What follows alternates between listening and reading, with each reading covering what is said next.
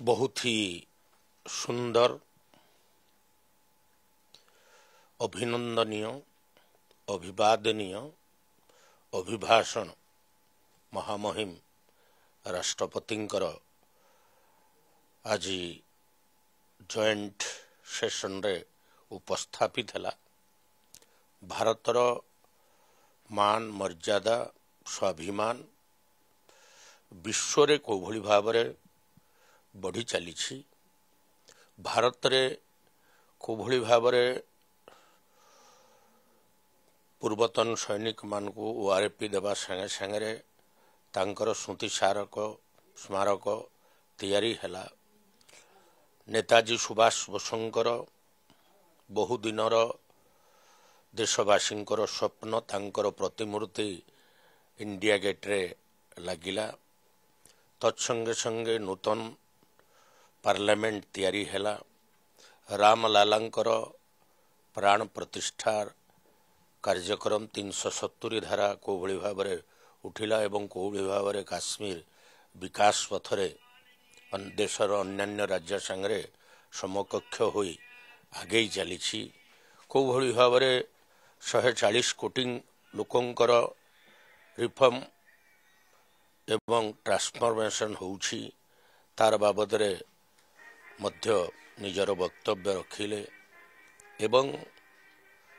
ମୋର ମତରେ ଗତ ଦଶ ବର୍ଷର ମୋଦି ସରକାରଙ୍କର ନେତୃତ୍ୱରେ ଯାହା ଲୋକ କଲ୍ୟାଣକାରୀ ଜନହିତକାରୀ କାର୍ଯ୍ୟକ୍ରମ ହେଇଛି ପଚିଶ କୋଟି ଲୋକ କେଉଁଭଳି ଭାବରେ ଗରିବୀରୁ ମୁକ୍ତ ମୁକ୍ତି ପାଇଛନ୍ତି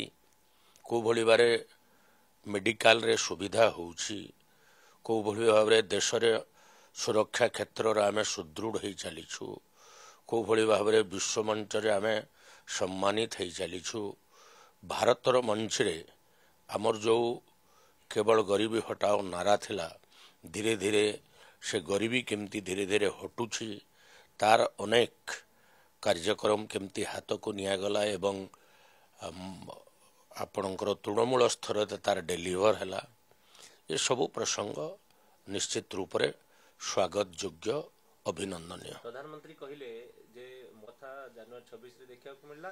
ଆଜି ରାଷ୍ଟ୍ରପତି ଜଣେ ମହିଳା କାଲି ବଜେଟ୍ ଆଣିବେ ସିଏ ବି ଜଣେ ମହିଳା। ତେଣୁ ୟାଠୁ ବଡ ନାରୀ ଶକ୍ତି ବନ୍ଦନର ସୁନ୍ଦର କମ୍ବିନେସନ ନାରୀ ଶକ୍ତି ବନ୍ଦନ ଅଧିନିୟମର ପ୍ରଭାବ ଧୀରେ ଧୀରେ ସାରା ଭାରତ ବର୍ଷରେ ପରିଲକ୍ଷିତ ହେଉଛି ସେ ସ୍ଥଳ ପଥରେ ହଉ ଜଳପଥରେ ହଉ ସେ ଆକାଶ ପଥରେ ହଉ ସେ ସୁରକ୍ଷା କ୍ଷେତ୍ରରେ ହଉ ସମାଜର ବିଭିନ୍ନ କ୍ଷେତ୍ରରେ ତାଙ୍କର କାର୍ଯ୍ୟଦକ୍ଷତା ପ୍ରମାଣିତ କରି କେଉଁଭଳି ଭାବରେ ସେମାନେ ସୁନାମ ଅର୍ଜନ କରିଚାଲିଛନ୍ତି ଖେଳ କ୍ଷେତ୍ରରେ ମଧ୍ୟ ସେଟା ନିଶ୍ଚିତ ରୂପରେ ବହୁତ ହି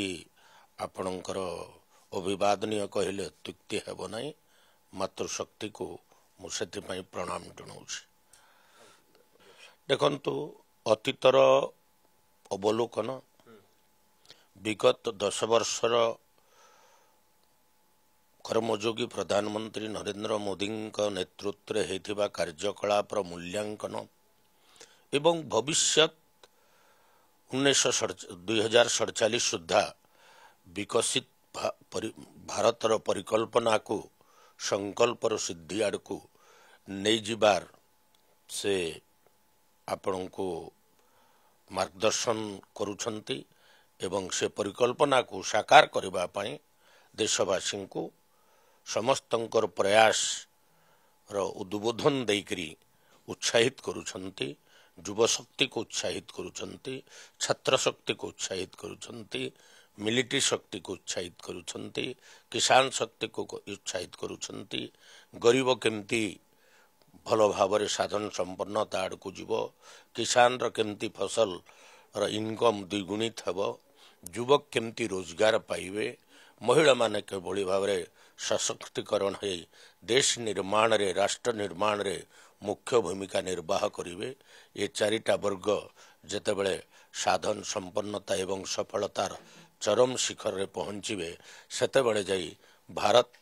ବିକଶିତ ରାଷ୍ଟ୍ରରେ ରୂପାନ୍ତରିତ ହେବ। ସେ ଉଦ୍ଦେଶ୍ୟ ସେ ଏମ୍ ସେ ଡେଷ୍ଟିନେସନ୍ ସେ କମିଟମେଣ୍ଟକୁ ସେ କେଉଁଭଳି ଭାବରେ ପୁରା କରିବେ ତାର ଏକ ସ୍ୱର୍ଣ୍ଣାକ୍ଷରରେ ତାର ପ୍ଲାନିଂ ସେ ତିଆରି କରିଛନ୍ତି। ଆର୍ ସେ ପ୍ଲାନିଂ ଆଗାମୀ ଦିନରେ ନିଶ୍ଚିତ ରୂପରେ ଆମକୁ ବଜେଟରେ ଦେଖିବାକୁ ମିଳିବ। ନିଶ୍ଚିତ ରୂପରେ ପ୍ରଧାନମନ୍ତ୍ରୀ ଯେଉଁ ଏରିଆକୁ ଯାଇଛନ୍ତି ପ୍ରଭାବ ପକାଇଛନ୍ତି ପ୍ରଭାବ ପଡ଼ିଛି ଲୋକ ତାଙ୍କର ଭାଷଣ ଶୁଣିବା ପାଇଁ ଲକ୍ଷ ଲକ୍ଷ ସଂଖ୍ୟାରେ ଆସନ୍ତି ତାଙ୍କର ଉଦ୍ଦେଶ୍ୟ ରାଷ୍ଟ୍ର ନିର୍ମାଣ ତାଙ୍କର ଉଦ୍ଦେଶ୍ୟ ଗ୍ରାମ ନିର୍ମାଣ